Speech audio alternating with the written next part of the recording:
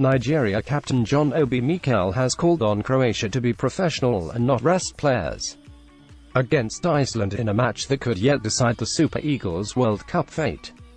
Two goals from Ahmed Musa ensured Nigeria remain in the hunt for a place in the knockout stages as they saw off Iceland in Volgograd. Gernot Rohr's side now know that a victory over Argentina in St. Petersburg will be enough for them to reach the last 16 for the fourth time in the history. And though a defeat to the Albiceleste would confirm their elimination, a draw would mean they require Croatia to do them a favor against Iceland.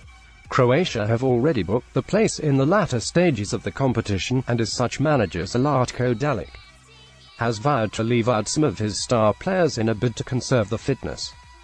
Mikel, though, does not understand the reasoning behind Dalic's decision and feels it is unfair on the rest of the teams in the group. I don't think it's the best thing to do, he told Goal. This is a massive tournament, you can't rest people and give others a chance of qualification. They should be professional and play the best team. This is such a big stage that you can't rest players just to help other teams to qualify. Nigeria have faced Argentina four times in the previous five World Cup appearances, losing on all four occasions, but the form of the South American outfit have raised hopes that the Super Eagles can end that run.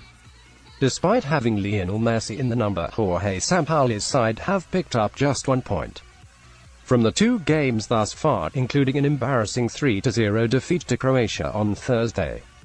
However, Mikel is aware that recording the victory his side require will be no easy task.